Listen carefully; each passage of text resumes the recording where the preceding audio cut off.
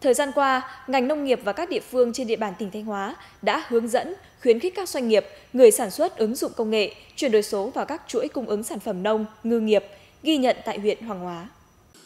Công ty trách nhiệm hạn thực phẩm và thương mại dịch vụ Lê Gia có địa chỉ tại xã Hoàng Phụ, huyện Hoàng Hóa, với ngành nghề chính là sản xuất nước mắm, mắm truyền thống. Ngay từ khi mới thành lập, công ty đã đẩy mạnh ứng dụng chuyển đổi số để quảng bá sản phẩm, xây dựng chuỗi cung ứng ra thị trường trong và ngoài nước.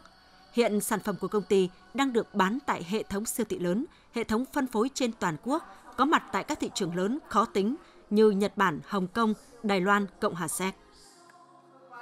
khâu truyền thông quảng cáo thì chúng tôi cũng cố gắng tận dụng được những cái lợi thế à, của những cái à, các kênh truyền thông hiện đại mà chúng đang có thì chúng tôi có những kênh YouTube, kênh Facebook, kênh TikTok và các sàn thương mại điện tử. À, Lê Gia của chúng tôi cũng là một trong những top các đơn vị à, bán tốt ở trên các cái sàn như à, như là Shopee, như là TikTok, như là Lazada.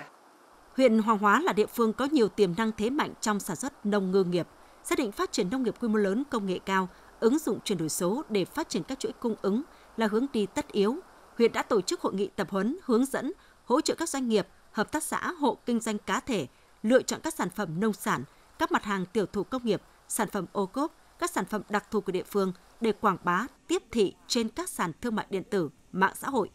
Đến nay, 100% doanh nghiệp, hợp tác xã, hộ sản xuất kinh doanh được tiếp cận tham gia chương trình hỗ trợ doanh nghiệp nhỏ và vừa chuyển đổi số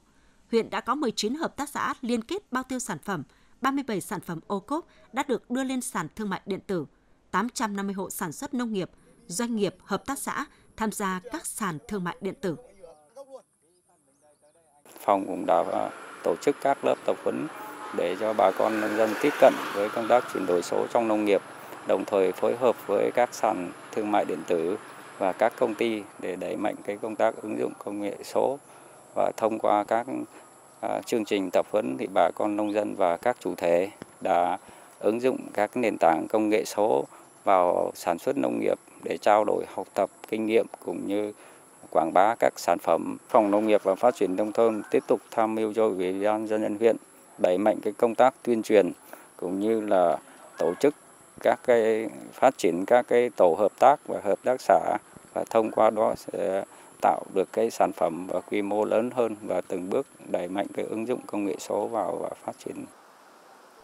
Huyện Hoàng Hóa đặt mục tiêu trong năm 2024, 100% doanh nghiệp, hợp tác xã, trang trại, làng nghề, hộ kinh doanh được tiếp cận chương trình hỗ trợ chuyển đổi số. Đồng thời, các sản phẩm nông nghiệp chủ lực, các sản phẩm ô cốp đưa lên sàn thương mại điện tử và được gắn mã QR truy xuất nguồn gốc.